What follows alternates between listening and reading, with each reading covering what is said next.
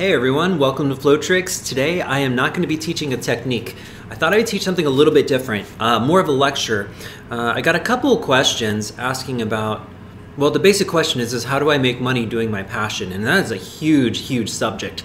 So I just wanted, I'm, I have no notes. I'm just going to kind of stream over some of the experiences I've had over the last 10 years, things that I feel are a good starting point. So say you've been spinning nunchucks for a couple years, five years, 10 years. It's really hard to say when you're ready. Uh, but then all of a sudden you feel like this itch, like maybe there's more to this like than just a hobby. This video is for you. It's a good starting point. Now, when pursuing your passions and if you want to take it I'm more seriously by more seriously I just mean when you want to take it like more as a business I mean you can definitely be a serious amateur uh, one thing to consider is do I want to teach or do I want to perform and I do a little bit of both uh, performing actually keeps me more supported than teaching does but it, it goes up and down uh, there's a whole section about teaching, especially if you already uh, are a martial arts instructor, you have kind of an in. I'm not going to go over that today. What we're going to go over is performing. Now, performing, whoosh, uh, going into this chapter, there's a gazillion different ways to start and ways to see things.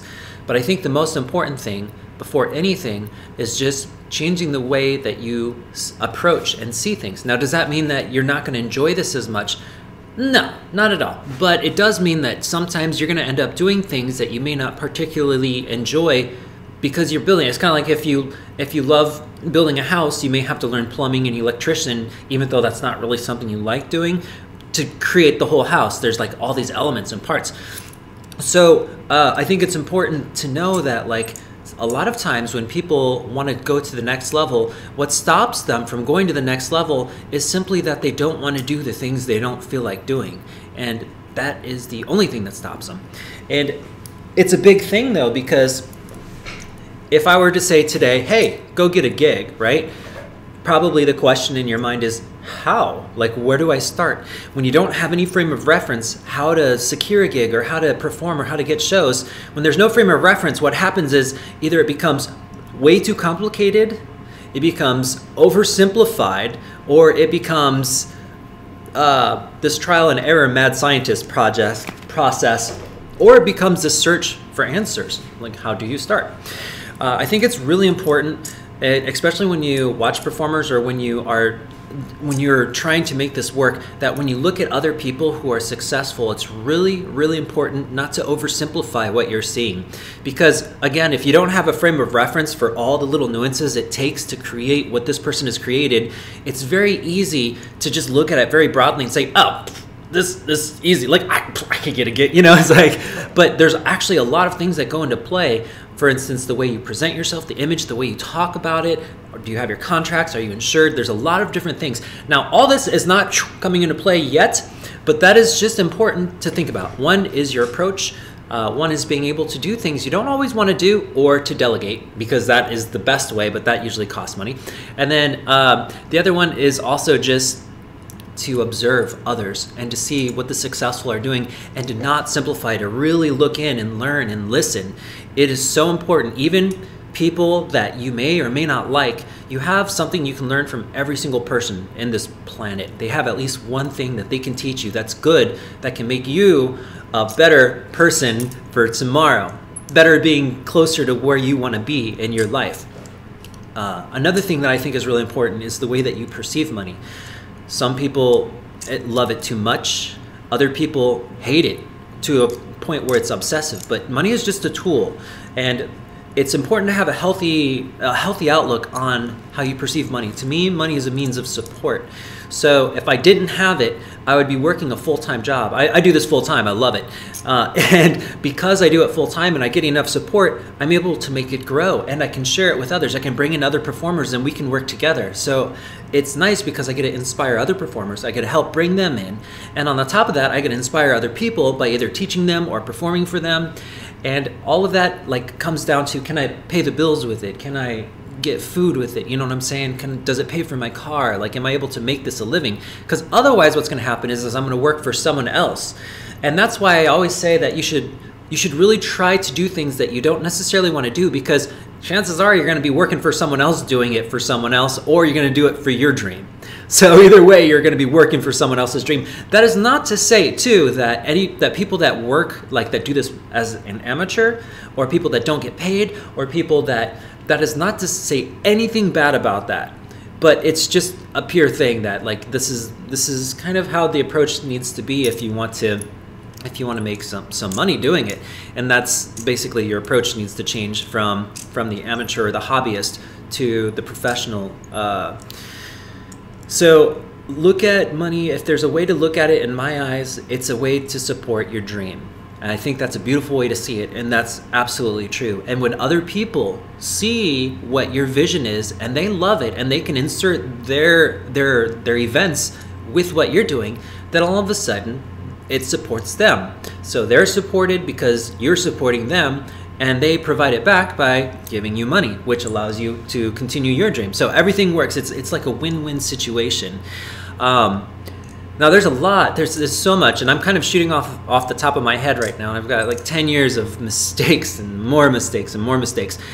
But that's another one that I, I guess we could talk about is mistakes before you start too. And I'm trying not to get too philosophical because this is kind of more like uh, I'm trying not to get too philosophical and try to give you good information, but some of these approaches are necessary, and one of them is the way you see mistakes.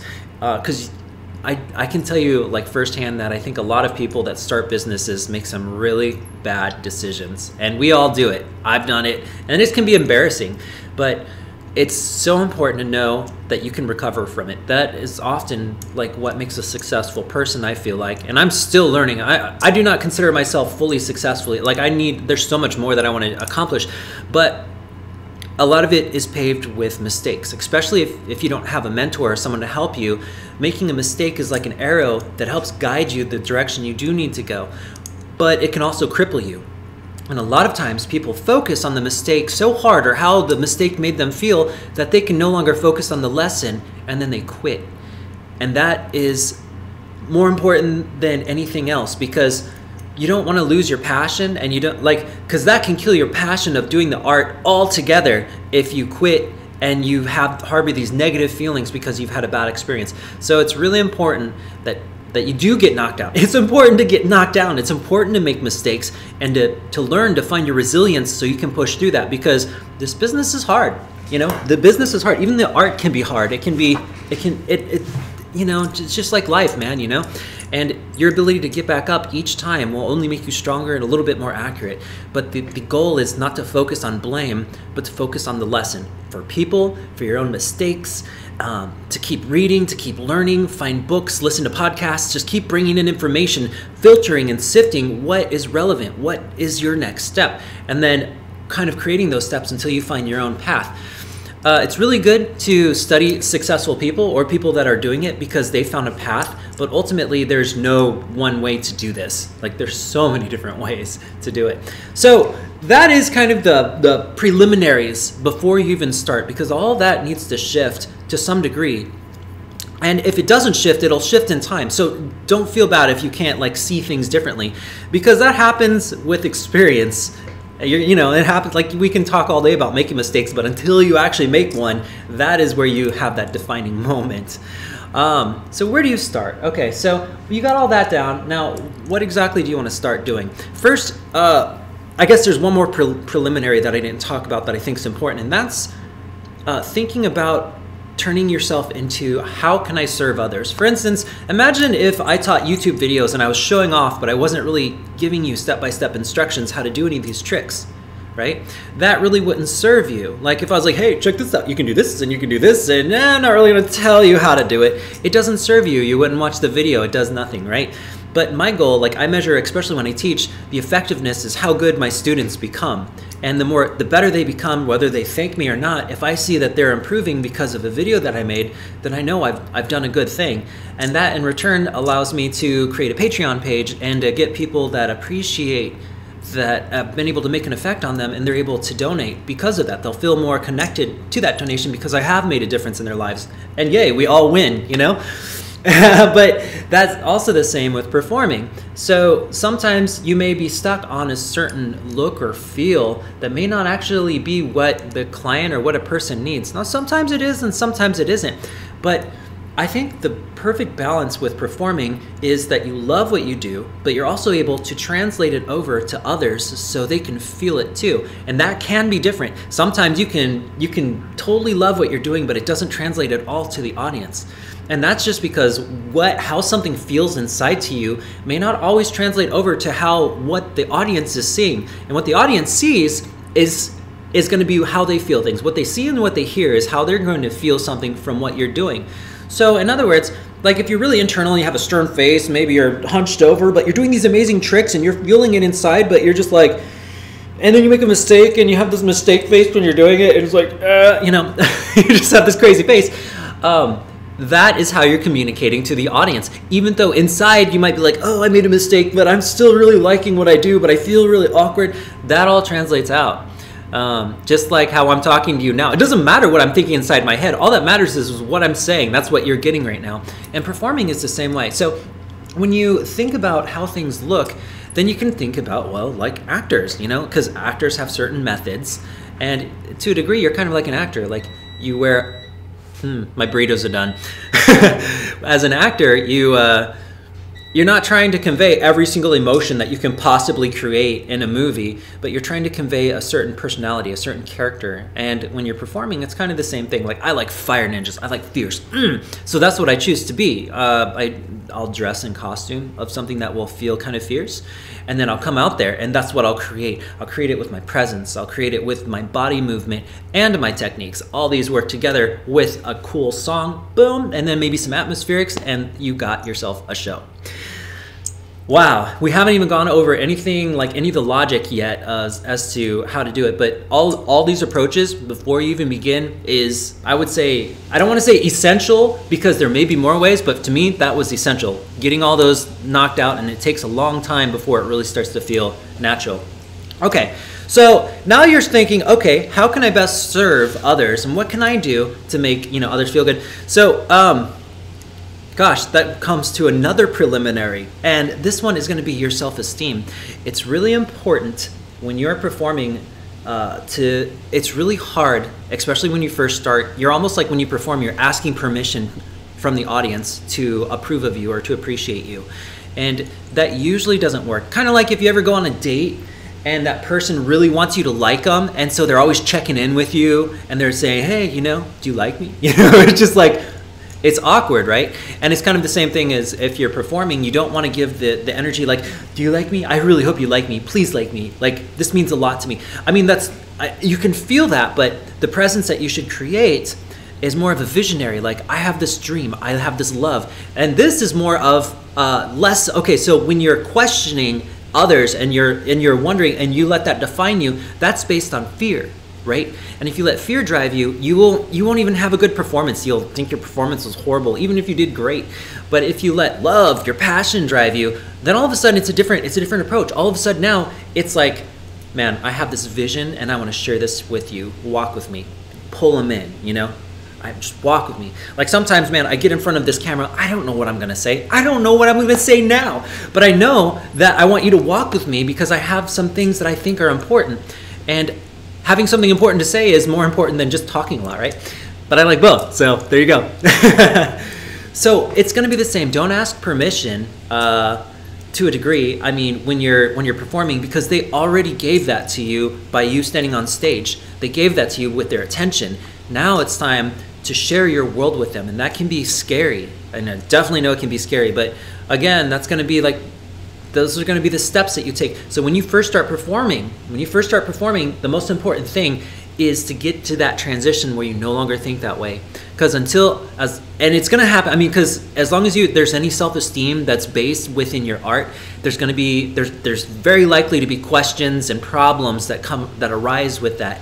But eventually you'll be able to rise past that and pull people in on your journey, and that's a great place to be. And it's definitely a place where you're going to want to be too. So we got that out of the way. Now the next question, I think is going to be on a different video. Uh, but the next question is, okay, I think I have the right mindset. I have the right approach. Now, where do I start? So I'm going to give you the very basics to starting, and then we'll we'll continue it from there. So the very basics is that there's really two ways that you could go. One is you go for the gold, and what I mean by go for the gold is you're going to go straight to try to. Uh, oh, I guess I should say okay. So you can just try to join a company that already exists and already has entertainment, or the others you try to make it yourself. And actually, you can do both at the same time. Clause. But if you try to join a company, the nice thing about that is they already have advertisers, they have people working really hard to do things that you don't want to do, so you can just focus on performing. The bad part is you may have to wait in line, there may not be any openings, they may already have people that do what you do. Uh, there's a lot of different things, you're at their mercy. And also, if you start working for them and if you don't have any support on your own, then you're going to be dependent on them. Meaning, if they have no more need for you, or if they move, or if they change ideas for where they want to go, you're going to be hurt by that because you will depend on them to get your gigs. Now, working for yourself is beautiful, and that's the other one. Working for yourself is a beautiful thing, but it is a lot of work, a lot more work. Oh my gosh, it's so much work. But at the same time, it's like I'm going to build my own house kind of thing, you know? Whereas this one might be I'm living in a hostel. This one is going to be like I'm I'm going to build my own. Now, building your own takes a lot of time, and you're going to spend a lot of time researching. But in the end, you create your own destiny there. And if and if you create your own destiny there, the people, the companies are actually going to see that more, and they're going to want to hire you more. All of a sudden, there's this synergy that happens where you're rocking out on your own, and you're also getting noticed more by companies because they want to work with people that are successful, that have experience, that have gone through the trials, so they don't have to go through that with that company. Um, so when you start off on your own, though, uh, okay, so let's go over really quick. If you if you want to join a company, I mean, there's so many different ways to do that, but I think it's really important to have a really amazing video that's very short, very sweet, gets to the point, maybe a minute long, and you have a few good photos, and you present yourself well. And if you have a website, great. Um, but with both of them, it's really important to present the actor that you want to be. Can imagine a movie, right? And if you're in a movie and Han Solo is is in Star Wars or whatever, um, you don't want to ever see him break character, right? And it's going to be the same thing when you present your your art to others. If you have this image of what you're trying to sell or create, you don't want to break character. Just like if you're watching a movie, you don't want Han Solo to be, excuse me, I'm sorry, I need to eat. And then he starts eating chicken or whatever. And it's like, wait, you're like on outer space. There's no chicken in outer space, you know? Like, but that breaks the character, and all of a sudden people start questioning. If you never break character, it it keeps people on that journey of what you were trying to create in the first place. So that means your videos, your photos, the way you talk, and the way that you present yourself. If it's all in one fluid motion, then you're gonna keep you're gonna keep moving with that, and people are gonna start acclimating and and and start gravitating towards that. And I think that that's how you kind of create a following, and you just remain consistent and you keep doing it over and over again. Okay, again, we're more philosophical right now than we are practical. I haven't really told you about any of this stuff, but uh, for the again preliminaries, once you get all that down, I guess one nice thing to do is to just get familiar with performing. So start performing for maybe your families, for for your families and for your friends, and do it just for the experience, you know. But then as time goes on, start start small, like birthday parties or whatnot. Now, I am not condoning fire spitting at all, uh, unless you have absolute confidence in your abilities and you're insured and no matter what you do, if, if you're performing for someone and you are accepting money, make sure that you have all your paperwork and your knowledge covered first. You don't want to jump the gun on some things that could end up hurting someone or even killing someone. It's super important because, especially with our art, if we're using weapons, if we're, if we're spinning around with weapons or if we're spinning around with flaming weapons or blade weapons or whatever, you can only afford one accident and it's you're all done. So safety's got to be like huge. so, but yeah, um, you're gonna have all this into consideration and then you're gonna just you're gonna go you're gonna start small probably just like how most musicians start like they're doing their little late night diners you know and they'll be playing. They're getting experience being in front of people and that's good and that's gonna bring up their confidence and it's gonna bring up their their bigger stage persona. So you start small and you keep building your way up and up and up and up and up and that's kind of where it goes. How much money do you charge? What do you set it? Maybe we'll talk about that a little bit later but um, when you first start, I think it's really important to get the experience so you can sell you can sell the character and the image that you need to be. You know, like Rome wasn't built in a day, and neither will this. This is a very, you're in it for the long run. And if you're in it for the long run, keep your eyes far, far away and keep focusing on, on bringing that. So I think I hope that helps. Uh, again, this is a new format. I really wanted to talk about how to start it. I guess I didn't really tell you anything about um, the process because the process is like 200 times bigger than this, and there's no right or wrong way. There's so many different ways to approach it. But I do think that having the right mindset and approaching it in the right way is so important before you even take that first step because that's going to save you so much time in the long run that you're going to eventually have to learn either way. So I hope this helps. And yeah, message me if you have any questions. If you like this series or if you want more lectures, let me know and I'll do more talks on this. I personally feel like this is really important because making money doing your passion is like the ultimate support. And the more you know the more support you can have the more you can create bigger dreams and better things and and then you can inspire more people so i've i've always felt like i feel like that it's it's definitely a tough thing though and you got to really like learn how to like just keep getting up after you get knocked down and that can be really challenging. But man so worth it so worth it. So hope you guys are well. Let me know what you think. Uh, and again you know like subscribe share this video and yeah talk to y'all soon